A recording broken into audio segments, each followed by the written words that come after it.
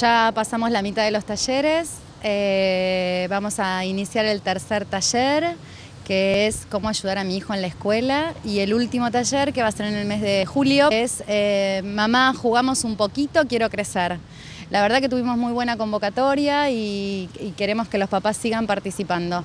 El taller donde vamos a estar específicamente el 7 de junio es cómo ayudar a mis hijos en la escuela.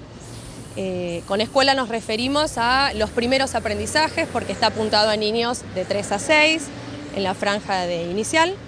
Eh, y surge por las preocupaciones que traen los papás sobre cómo acompañar a los nenes en estos primeros aprendizajes que se van dando y las dificultades que ellos observan en cuanto a la adaptación y a la al registro de las primeras pautas educativas en los chicos y los primeros aprendizajes. Estos talleres surgen de los motivos de consulta y de la problemática que estamos teniendo en el nido eh, y entonces decidimos orientar a la comunidad y educar a los papás en ciertas cuestiones de, crianza y de poder ayudar a los niños, por ejemplo, fuera del ámbito de, lo que es la casa y la sociabilización en la escuela eh, y de que puedan conectarse con esos niños jugando, ¿no? porque todo lo lúdico para el niño es un aprendizaje nuevo y de ahí surge la idea de estos talleres. Preocupaciones que tienen que ver con cómo un niño deja su primer espacio familiar y pasa a un primer espacio de socialización, que es la escuela.